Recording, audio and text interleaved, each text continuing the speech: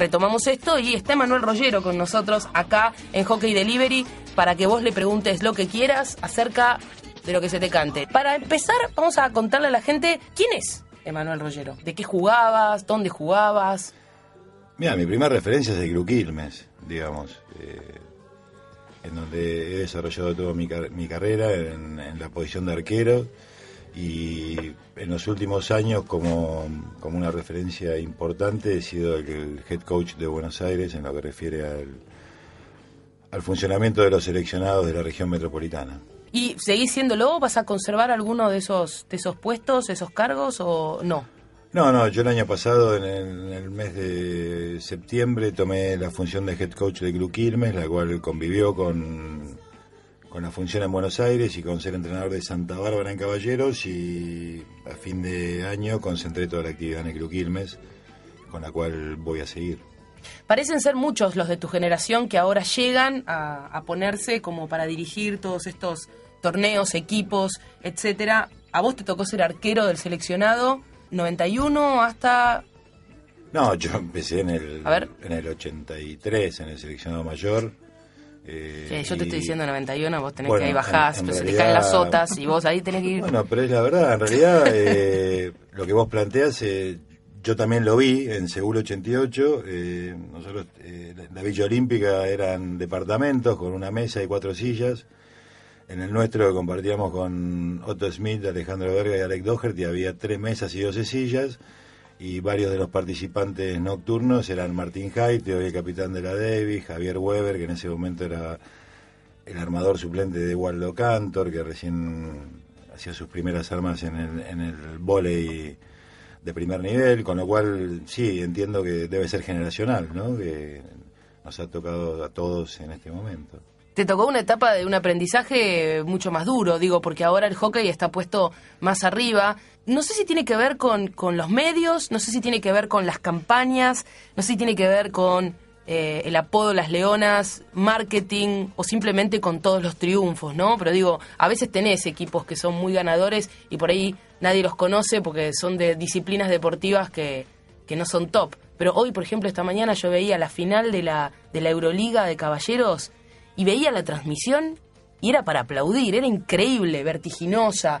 perfectamente editada, con un director en vivo, o sea, viste, el, tipo que hablaba sabía de lo que estaba hablando, no era, no era un improvisado. Bueno, y además el juego, ¿no? O sea, y, los cambios que le, agregan. Vos llegaste, digo, y, tuviste que hacer otro camino, un camino mucho más difícil. Sí, yo veo dos partes en lo que vos planteas. Eh, yo, en cuanto a mi formación, pensé que nosotros nos entrenábamos para jugar en el sintético había una sola cancha, la cancha de obras, en donde cuando te la prestaban te entrenabas y después íbamos a competir en lo que aprendíamos en una sola cancha. Hoy hay generaciones de sintético, lo cual en principio anuncian que la formación de esos jugadores hay una etapa superada, pero en el caso de las mujeres, y yendo específicamente a la relación con las leonas, las leonas como marca registrada, yo creo que son un grupo elite, que están en el lugar top del mundo por mérito propio, no reflejan el nivel del hockey argentino. Porque acá hay otra problemática que es eh,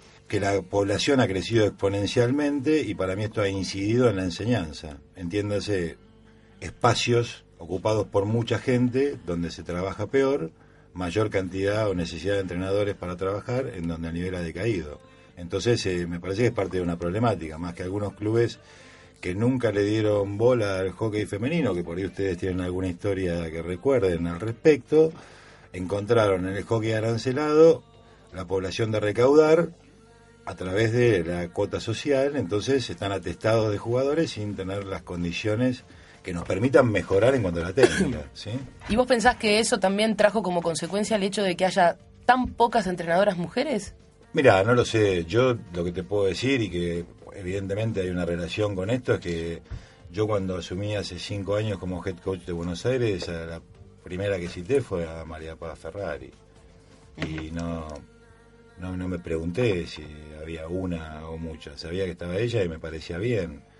Eh, si el hockey es machista, por tampoco lo creo. O sea, no, no tengo nada que, que, me, que me permita considerarlo. Evidentemente hay una puerta que no se abrió. Mm. Eh, no sé ni cuándo ni dónde, pero o por lo menos no entusiasmó, ¿no? No digo que sea machista, pero digo, si el 90% mm, de la población que juega hockey en la Argentina son mujeres y el de otro 10% lo comanda, es como una cosa, ¿viste? Entiendo que, a ver, yo no voy a negarlo, ¿eh? Yo siempre dije que nosotras las mujeres jugamos un juego y ustedes practican un deporte, pero yo no lo digo, yo no, digo que sea diferente. Yo te lo, si te lo planteo de otro lado. Yo cuando eh, voy circunstancialmente a reuniones eh, en donde no conozco gente, eh, que me las presentan ahí, o que los conozco, por ejemplo, amigos de laburo de mi mujer, siempre me dicen, ah, vos qué haces, soy entrenador de hockey, ¿y dónde te recibiste? Y le digo, no me recibí en ningún lado eh, yo hace años que vengo planteando la necesidad de un título y un carnet habilitante y por ahí la falta de una carrera específica de hockey también eh, sea algo que no entusiasma puntualmente a las mujeres, sino que tienen que luchar contra dónde iniciarse en la estructura de los clubes. Por ahí ahí está la limitante, no sé, estoy intentando pensar en este momento. ¿Cómo te sentiste en tu debut cuando jugaste en el seleccionado por primera vez? Yo tuve una particularidad, yo tuve dos etapas de junior, es decir, jugué eh, dos Panamericanos junior, o sea, muy jovencito, y un, mundial, el otro no lo jugamos porque fue la guerra de Malvinas, el año 82, para que tengan una, una idea. Eh, el primer torneo viajé y no jugué ni un partido, ¿sí? Eh, lo cual fue una experiencia triste en aquel momento y enriquecedora en el concepto de lo que significa participar de ser una componente más de un grupo de jugadores que no te, teca, no te toca jugar y tenés que estar bien preparado y alentando en este caso desde afuera. Mi primer partido en el seleccionado mayor internacional fue en el año 83 en una gira a la Unión Soviética. Eh, en aquel momento Unión Soviética. Cerca, acá nomás, a la vuelta. Sí, acá nomás. Un viaje muy lindo incluso desde lo cultural, porque pasamos por Budapest, que es una ciudad alucinante, no sé si alguno tuvo la posibilidad de visitarla. Eh, a mí me tocó participar de, este traspaso que te digo yo del hockey césped sintético y también de algo que pasó, que es que en aquel momento Luis Ciancia hizo un cambio muy grande en donde dejó solamente cinco referentes eh, de los mayores, Marcelo Garrafo, Alejandro Verga, Miguel Altuve, Aldo Ayala y Marcelo Mascheroni, y yo ya estaba en ese grupo, eh, pero como, como jovencito, entonces ahí iniciamos un nuevo camino. Pero mi debut fue con el grupo de viejos, ¿sí? De los que, de los que dejaban el seleccionado. Y estuvo bien. Eh, después, evidentemente... ¿Con bautismo? ¿Hubo bautismo, ese tipo de cosas? ¿O no se estilaba? No, no se estilaba. En realidad, más que bautismo, te tenías que hacer de abajo eh, y ese era el bautismo. Y yo prefiero ese formato que cortarte el pelo o, o pintarte el cuerpo. Me parece mejor que cada uno sepa de dónde arranca y dónde tiene que llegar que simplemente cambiar la fisonomía. ¿Cómo fue que llegaste a convertirte en entrenador de las Leonas? ¿Venías de la mano de un proyecto? ¿Ya habías presentado tu idea? ¿Alguien te convocó? ¿Cómo llegaste? No, la convocatoria es directa del presidente de la Confederación, Aníbal Fernández, quien me preguntó el año pasado, eh, en caso de que él sea eh, presidente de la Confederación, yo dirigiría a las Leonas. Le respondí que sí.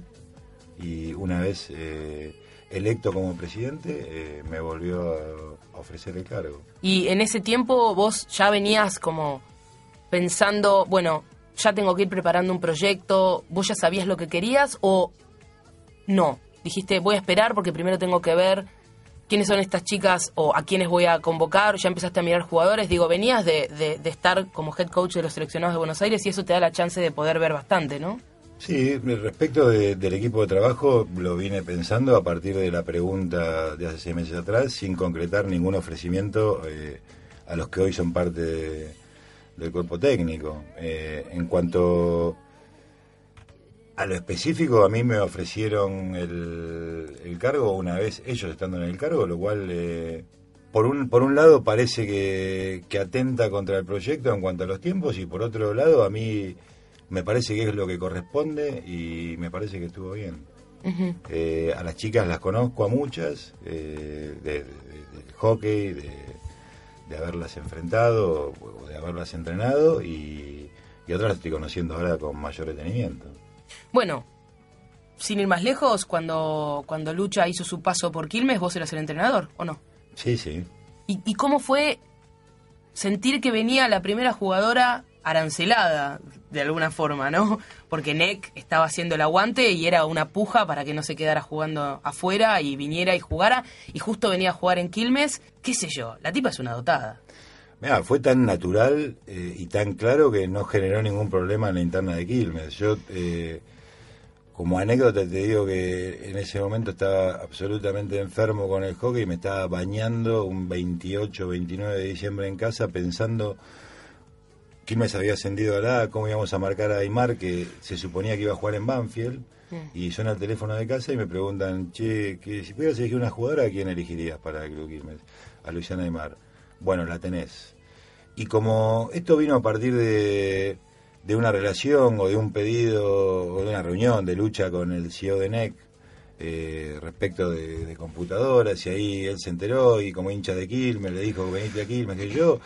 Eh, todo eso surgió a partir de NEC, con lo cual, en, lo que refiere no solo a la economía, sino a la interna, a la interna de Quilmes estaba solucionado el tema, porque era una jugadora que aportaba una empresa, un capital externo, eh, que se incluyó, y te imaginás, eh, había chicas del club que estaban jugando con Lucha que le traían una foto que se habían sacado cinco años antes abrazaditas con su ídola, ¿no?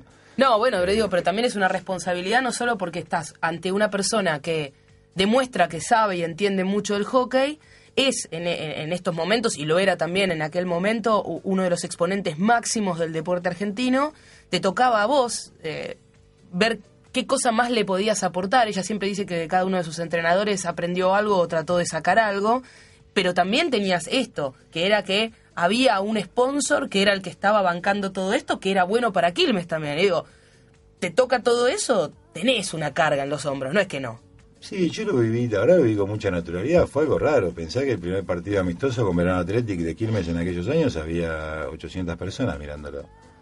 Bajaban los micros que venían a ver entrenar de lucha en el Quilmes.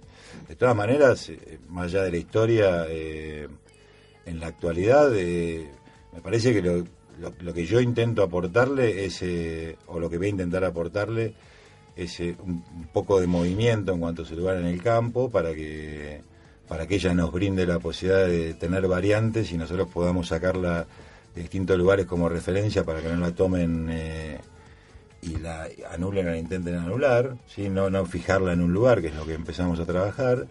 Y después, en lo estructural, yo lo que quiero ver, y no solamente para Luciana, sino para las Leonas, es aportarle tranquilidad en cuanto a la estructura. Es decir, llegar a lo que todos soñamos, que es que los jugadores solamente piensen en jugar y no piensen en diversos temas. Y esto me parece que está planteado en el proyecto actual y lo vamos a llevar adelante.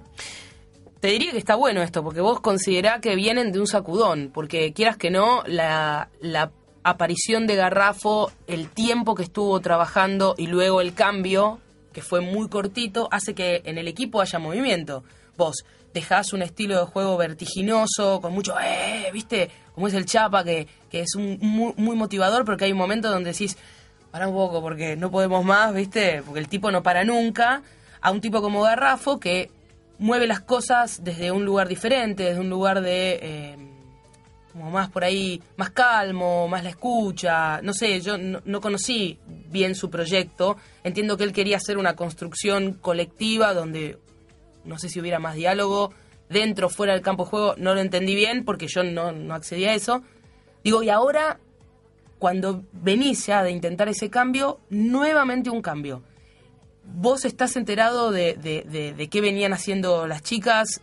tu proyecto dista mucho de esto último que hicieron, se acerca más a lo que planteaba Retegui desde el juego y desde la conducción, te pregunto. No, bueno, desde el juego yo la referencia que tengo es, eh, la información que, me han pasado y hago público el agradecimiento. Me llamó Lalo Junquet y me, pasó la compu con los partidos de Rosario y con la gira a Nueva Zelanda. Eh, a partir de ahí encuentro una similitud respecto a lo que nosotros vamos a intentar hacer y lo que planteas vos del vértigo contra, contra el control. Eh, a mí básicamente me gusta algo más equilibrado, ¿sí? que tiene que ver con ir para adelante eh, con vértigo en los momentos que corresponde y después intentar eh, mantener más la posición de la pelota. ¿sí? Con lo cual creo que se acerca a lo que Marcelo proponía, por lo menos en lo que yo vi de lo que se hizo en estos dos meses que, tuvieron. En cuanto a la forma de conducir, respecto a lo que vos planteás de, también del vértigo de, o del quilombo como, como forma, yo no me gusta convivir con el quilombo, eh, sí me gustan las cosas claras y me gusta hablar las cosas en tiempo y en forma, hasta en un aspecto preventivo, ¿sí? para que la cosa fluya y camine cada uno en su lugar y en su, con su responsabilidad. ¿no? Pienso en el Mundial del 2010. A mí me encantó, me encantó cómo jugaba ese equipo, me pareció que era tácticamente perfecto lo que se planteó en cada, en cada partido. Bueno, lo digo yo, que soy jugadora, vos sabrás más. Pero después se perdieron, y esto también lo decía Chapa, se perdieron algunas jugadoras no solo notables desde, desde lo que podían hacer, sino desde la experiencia, ¿no? Mariana Rossi, Claudia Burkhardt, un poco la columna, ¿no? vertebral de ese juego, que también habilitaban a que las más nobles aprendieran y, pudieran jugar em, sueltas en el sentido de saberse protegidas por aquel que tiene el conocimiento. Y después llegó este cambio que también le tocó a Retegui, que tuvo que, que salvar, pasar de ser el equipo más viejo, con un promedio de 27 y pico de años de edad, a un equipo que tenía 22, 21, por ahí, ¿no? Pero ahora ya tenés algunas otras jugadoras en formación que andan bien. ¿Te parece que le falta a estas jugadoras, a este equipo de Leonas que viste últimamente, una jugadora del estilo de estas defensoras? ¿Te gustaría encontrar una delantera que se asemeje a una Oneto, una Gula, o sea, una delantera más, más de área, ¿no? Un 9 más de área, que ahora me parece que no hay, da la sensación de que no hay. ¿Tenés a alguien en vista? No, a, ver, eh, si vos me preguntás si me gustaría tener a Vanina Oneto de hace 15 años hoy en el equipo, la respuesta es que sí. Eh, yo creo en el equipo, creo en el equipo como concepto y me parece que incluso con jugadoras brillantes eh, la virtud está como cómo el equipo pueda disfrutar de su prestación dentro de un equilibrio y cómo pueda absorber quizás su mala actuación eh, dentro de una mala tarde, ¿no? No sé si es claro el concepto. Con lo cual eh, yo encuentro hoy eh, un equipo con, experiencia, a pesar de que son jóvenes en, en edad, con una profesionalidad en, este, en esta breve instancia que tuve de cuatro entrenamientos que se nota y me parece que hay una parte importante que la mística de las leonas yo la siento presente. Y eso se ha ido, eh, más allá de la marca registrada, del marketing, de todo lo que vos planteaste en el inicio, me parece que es algo que, el traspaso ha sucedido, que está bueno y que las chicas han, recibido, han recibido ese conocimiento y ese compromiso. El tema va a ser, como con los resultados, eh, mantenerlo o mejorarlo, ¿no? Eh... Sí, pues es difícil porque, a ver, es el, es el equipo más ganador. Te diría que hoy en la Argentina no hay un equipo de elite, porque ya es un equipo de elite como el de las Leonas. Porque, viste, todo el mundo habla del fútbol en, la Argentina y el fútbol, ¿cuánto hace que no gana nada? Pues en cambio, las Leonas vienen desde Vigil sin bajarse de un podio, ¿viste? Y bueno, y lo, lo último, o sea, con Retegui todo lo que se jugó arriba de un podio. Por él, la pregunta quizás que, que siga es el, tema del desgaste y de todo esto, de, bueno, vamos de nuevo, bajamos de, de, un podio y volvemos a trabajar sobre eso. Vos hablaste con las chicas de qué es lo que esperan o, o de dentro del cronograma que tenés de los próximos torneos qué es lo que esperan o cómo manejar todo eso, cómo llegamos a ese podio y después del podio, cómo seguimos. Hablo más no tanto de lo técnico, sino de, de lo psicológico. Mi, charla con las chicas, con el grupo, fue no solamente de la presentación formal, sino de, establecer cómo íbamos a trabajar, eh, y es lo que empezamos a hacer. Eh, quizás las chicas sepan más por alguna nota o por alguna pregunta eh, respecto del futuro inmediato que porque nosotros nos hayamos sentado a hablarlos. nosotros tenemos tres instancias de acá a diciembre, que es lo que vos planteás la World League, la fase 3, que nosotros estamos clasificados para la final porque es en Tucumán, pero de todas maneras eh, tiene cupo para ir al Mundial del año que viene, con lo cual hay que salir entre los primeros tres eh, de la fase clasificatoria, en este caso en Londres.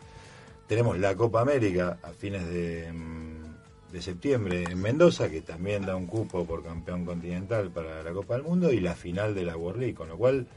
Eh, evidentemente no hay tiempo para, relajarse y va a suceder que podemos tener el mejor resultado ahora en junio en Londres, pero esto evidentemente nos va a obligar o nos va a potenciar para ganar la Copa América en Mendoza, porque las Leonas se presentan de esta manera, ¿no? Como un equipo ganador y que tienen que mantener ese espíritu. Yo entiendo que la mística eh, ganadora está está bien transferida y ahora es nuestra responsabilidad, y hablo de nuestro cuerpo técnico, de, mantener en cuanto a la estrategia, en cuanto a las decisiones, para que el, resultado final siga en línea con lo que venía sucediendo. Dice la gente que no fuiste a ver el argentino de selecciones de mayores. ¿Fuiste o no fuiste? A Córdoba. No, no, fui. Y Mario Quiroga pregunta, ¿por qué no convocás talentos del interior? Por él, él menciona a Gaby Aguirre, que juega en Acoa, a Nati del Frari, que es de Popeye de Salta, eh, a Flor Calvete de Tucumán, de Tucumán Rugby. Bueno, mira, eh, en, realidad acá yo tenía la posibilidad de armar una lista de 25 que tiene una relación con, con, las becas, eh, ese es el cupo, esas 25 hubieron tres invitadas, que son tres chicas de, seleccionado junior, que siguen participando de su etapa junior, pero entrenan con el seleccionado mayor. Y, hay una instancia que de hecho va a suceder este este lunes, eh, este martes, perdón, a la mañana, de un partido donde hay jugadoras invitadas. Una de ellas, por ejemplo, es Gabriela, Gabriela Aguirre. Eh, y el martes eh, siguiente, no, el otro, va a haber otro grupo de jugadoras invitadas en, función de tener un partido de entrenamiento y en función de, de ampliar la base o el espectro para elegir jugadoras por ahí ver un poco más. Sí, sí, exactamente, ver un poco más. Eh, en la actualidad están las 25 eh, que nosotros considerábamos que tenían que estar y conociendo a las tres que vos nombraste, por ejemplo, como referencia. Así que su valoración estuvo hecha, no es que ignoramos que existen en el mundo del hockey. Ahora vos mencionaste recién, dijiste, hay una lista de 25 más o menos con el tema de las becas. ¿Esto, esto te limita? No, no, no te limita, pero en realidad me pareció bien que en esta primera instancia, no, no, no limita, sí establece una, una, una no una discusión en términos de discutir, sino eh, generar un sistema que permita que, que pasen invitadas a integradas, pero en realidad yo me regí por, la, por las normas eh, presentes, que eran 25 jugadoras, y me parece, el número me pareció razonable y está bien, y es con lo que estamos funcionando. ¿Y hay alguna en particular que decís, esta es una jugadora que me encantaría que llegue al seleccionado, pero todavía no está lista. Más chica por ahí. Sí, bueno, tenemos, lo tengo expectativa con varias jugadoras del Junior, por ejemplo. Eh, nosotros hemos citado dentro de las 25 a Florencia Biff y a Agustina Albertario. Las tres invitadas de la semana pasada eh, son Agustina Mestidieri, que juega en arquitectura, un club que ustedes han conocido y han transitado, no sé si después... Pero no te rías. Si después quieren hacer algún... No te rías. Contar alguna historia al respecto. Y... Contamos, pero si vos contás también. O sea, cada uno cuenta una, yo no sé, está Julia acá. Sabe que se casó con una persona con pasado, no, no va a escuchar nada nuevo. Si no, no estaría con ella. Che, Jiménez Cedrés y Majo Granato eh, son las son las invitadas y además eh, en realidad ellas están en, se están yendo a Canadá, el Junior, y después tiene su Mundial Junior. Si nosotros consideramos que, que tienen que participar directamente con el mayor, lo vamos a hacer, consensuado y hablado con, con Santi Capurro, pero entendiendo que la prioridad es desde la elección es el, equipo mayor, como lo fue siempre. ¿no? Bueno, se viene eh, un, un, ir a Londres, o sea, así de movida. Entras a la cancha y ya te tenés que ir. ¿Qué esquema vas a o tenés en, en mente plantear para jugar? tres en el fondo. Sí, vamos a jugar con tres en el fondo, con cuatro en el medio, con un enganche y con dos eh, bien profundas. Este va a ser el esquema que de alguna manera estamos hemos empezado a desarrollar y bueno, es un poco de lo que hablábamos recién, ¿no? La competencia constante y la obligación constante. Eh, en realidad eh, vamos a ver cómo cómo vamos a funcionar al respecto. yo tengo la idea de, ver el partido desde arriba, no desde el banco que es algo que vamos a probar incluso acá en la Argentina, que lo hemos probado en la teoría de un partido amistoso casero, me parece que se ve mejor tener la referencia, en este caso de Pacho en el banco y estar arriba con Jorge viendo el partido. Pero, bueno, nada, vamos a, a ganar la clasificación y a ganar el torneo, esta es la propuesta. Yo es una idea eh, que tengo cuando, cuando fuimos al Mundial de Hobart con Alejandro con Alejandro Verga, eh, yo se lo planteaba siempre. Y le decía, mira Alejandro, no es que yo quiera estar en el banco porque si sacan una foto salir yo y que no salgas vos, pero te aconsejo que vayas a la tribuna, me parece que es, eh, va a ser mucho mejor. Eh, bueno, vamos a ver si es cierto. Eh, tengo esta idea. Hasta ahora no lo, no lo habías probado. O sea, es una, una, una idea, un concepto No, que creo tenés que, no, que creer creo, que va a que, creo que funcionar. los argentinos no lo probaron. Este, Claro. eh, No, pero no te quita, eh, y ahora, y ahora esto lo pregunto, o sea, poniéndome en ese lugar. Si bien desde arriba tenés como una panorámica mucho más amplia y, y mucho mejor de lo que está pasando y lo que pasó y lo que va a pasar. El tema de que vos le la des la indicación, exacto. No, no te digo de teléfono descompuesto, porque obviamente la persona que tenés como colaboradora interpreta perfectamente lo que es, pero no es como unos segundos más de, de lentitud y de es, de- decirle a tal que tal cosa. O sea, ta- fíjate tal que tal. sí, me- ¿entendés? me- En- a ver, eh, no sé en un juego olímpico y tampoco sé qué, qué- qué cantidad de público va a haber en, en Londres como para que no te escuchen lo que vos le tenés que decir al jugador desde arriba, digamos, ¿no? Ok. Sucediendo como información primaria, después en lo que refiere a los cambios o tanto estratégicos como de jugadores, eh, se le informás. eh, es parte de lo que también discutimos. Por ahí culturalmente a los australianos, o los ingleses, o los alemanes, la no presencia de su entrenador en el banco no les genera nada. Sí. Yo voy por ese lado, los argentinos somos distintos en un montón de aspectos y también eh, vamos a ver si la presencia del entrenador principal afecta o no que no esté en el banco y será eh, ensayo y error y no, lo, no es que el ensayo y error va a ser allá, vamos a intentar hacerlo acá Claro. para ver cómo, cómo funcionamos. Yo creo en que la estructura eh, debe crecer, creo en los grupos de trabajo, para mí eh, Pachu y Jorge Lombi son pares, entiendo que yo eh, tomo y voy a tomar las decisiones que correspondan, pero intento que el grupo de trabajo funcione como tal, tanto con Manuel Ferro y Rodrigo como preparadores físicos, con Pablo Altuve con, como entrenador de arqueros y con la jefa de equipo. Cuatro arqueras. ¿Qué hacemos con cuatro arqueras? A ver, para los que no saben, la vuelta de Suchi, la vuelta de Aladro, y después conservás a las dos que venían jugando. Del cole, Mutio. Mutio, una revelación para mí. Realmente le tocó la más fea, fue a jugar a los Juegos Olímpicos, y así, como el primer partido internacional que le toca, ponele, la tipa, bueno, anda, no, ¿dónde? No, Londres, Juegos Olímpicos, pero no te preocupes. Y la rompió. ¿Qué onda? ¿Cuatro arqueras? ¿Qué hacemos? Bueno, sí, cuatro arqueras están dentro de... Si bien el reglamento cambió, antes se decía que para jugar eh, debía haber eh, 10 jugadores y un arquero, y ahora son 11 jugadores porque permiten eh, jugar sin arquero. Es un puesto evidentemente distinto, pero la valoración comparativa es la misma que la del resto de las jugadoras. Y nosotros vimos o creemos eh, que está bueno generar una competencia interna y tenemos a, como vos decís, a Florencia Muto, que tuvo una actuación muy buena, Mutio, que tuvo una actuación muy buena en los Juegos Olímpicos.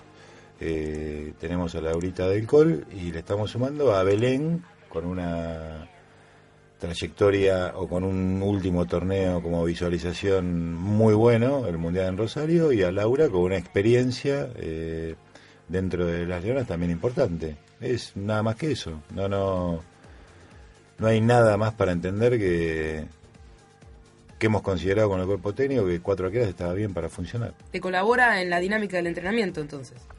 Sí, sí, te colabora en la dinámica del entrenamiento. Tenemos un entrenador específico de arqueros. ¿Quién es? Pablo Altuve, quien es entrenador de arqueros hace muchísimos años y para mí, bueno, el mejor que he visto después de Otto de Vilmar, que fue el formador de todos, muchos de nosotros como arqueros y como entrenadores de arqueros, ¿no? Mm. Pablo Sánchez, otro Pablo, dice, Manucho, abrazo grande y mucho éxito. Ah, Pablito Sánchez. Bueno, ustedes por ahí lo conocen porque era un... Tené cuidado con lo que vas a era- decir. porque No, se- no. que quedemos Ay, mal. era- tanto miedo. O sea, Cuando salimos del tema de las leonas me agarro un Era. Sí, no, era- hay que era mantenerse Pablo ahí. Sánchez, abogado, vivía en Ciudad de la Paz y comía alguna vez hablemos Sa- un poco en de... Cayetano, a la hablemos un poco, de casa. para, hablemos un poco de ese departamento de Ciudad de la Paz. No, yo vi. ¿Qué, qué- quiénes eran los que convivían ahí, en ese departamento que se habían alquilado para que les quedara cerca el entrenamiento? Decían. Yo he visitado ese departamento. No, mira, es cierto. Yo en el año 90 me fui a vivir a San Nicolás con la idea de no, no, no laburar más en el hockey. Eh, Mírate ahora. habíamos puesto un, un videobar en aquella época con un amigo, eh, 30 de noviembre del año 90 y el 2 de febrero del año 91 entró la señora María Julia del Sogaray con la gendarmería a su misa, con lo cual hizo que San Nicolás pase por un tiempo a ser un pueblo no fantasma, pero Casi. bueno, Casi. casi, sí. Eh, ahí me quedé durante todo el año, de todas formas volvía todos los días a entrenar a Buenos Aires, finalmente para ir al Panamericano de La Habana y finalmente cuando pagué las deudas y decidí volver a Buenos Aires, y tenía todo cargado, y a la vuelta me, me llamó el Chapo y me dijo, ¿qué estás haciendo? Estoy volviendo a Quilmes a vivir, ¿no querés quedarte en Belgrano? Le dije, bueno, sí, paré la combi en vez de llegar a Quilmes en verano y me quedé 10 años en Belgrano. Eh, se me hizo Se te hizo un poco largo, se me hizo sí. un poquito largo. eh, y en esos 10 años, eh, en este departamento en particular, eh, hubo una fauna importante de, Se han escrito de personajes que hockey vivieron, de los cuales eh, yo era el, el timonel, digamos. Ah. No Bueno. sé si querés... No, no sé si vos querés ahondar un Pablo poco era más. uno de ellos. Pablo Claro. era el más serio, era el que estudiaba, eh, es el abogado, hoy Sí. un abogado ¿Y reconocido. ¿Quién era el más roñoso? ¿Quién era? Que de- definime roñoso. Eh, muy desprolijo, muy, viste, dejo Sí. las cosas tiradas. Bueno, yo debo haber estado entre, entre lo más Bueno, vos llevarías los pads, o sea, ya, ya, Ya, está. ya los pads eh, Huelen mal, no, sé, importa sí, que hagan, No hay es chance, una- no hay no chance de que forma. no huelan mal. No hay, No hay forma, No, no, o sea, no, no. terrible. Y además, tanto pibe ahí, sumado los pads, era pero, necesario. Pero fueron años, ahora estuvo bueno, fue fue un lugar en donde mucha gente fue a vivir que quería irse de sus casas y que sus madres me miraban mal como que yo los había llevado. Yo le decía, tu hijo se quería ir de tu casa, no es que eh, yo te lo saqué. Máximo de personas viviendo en ese departamento. Eh, yo no me acuerdo el máximo, te puedo decir que un día contamos eh, 53 pares de zapatillas, por ejemplo, Nah. en el departamento. Que no Ninguna estamos- limpia, queremos y aclarar. no estamos hablando de un semipiso en No, no, en recuerdo perfectamente que y modesto Callao. departamento. Estamos hablando de un- casi tres ambientes Sí. eh, baqueteados. Sí. Te voy a preguntar, último, ¿qué le falta a este equipo de Leonas? ¿Y vos crees que le puedes aportar? No, bueno, ¿qué, qué le falta? Yo la apreciación que tengo sobre las Leonas es la apreciación de un espectador común eh, desde la tribuna y, de- y desde hincha, ¿no? Eh, con lo cual eh, me parece que lo que le falta también va a ser parte de un descubrimiento. Yo sé lo que tienen. Eh, tienen una calidad técnica y física importantísima, tienen lo que hablamos anteriormente, una mística transferida y tienen una profesionalidad evidente en la semana que yo estuve, lo cual no son componentes menores para pensar que, que uno puede transitar hacia el objetivo, bueno, no sé si tranquilo, pero por- confiado de que de la cosa de que la cosa va a marchar.